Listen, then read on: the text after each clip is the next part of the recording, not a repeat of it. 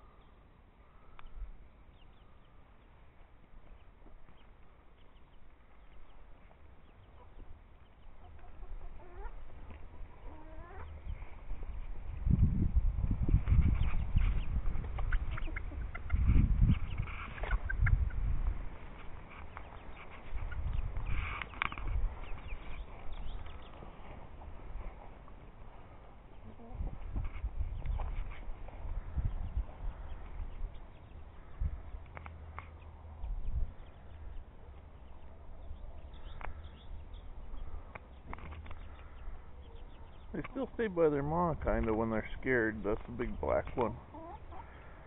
And the rooster.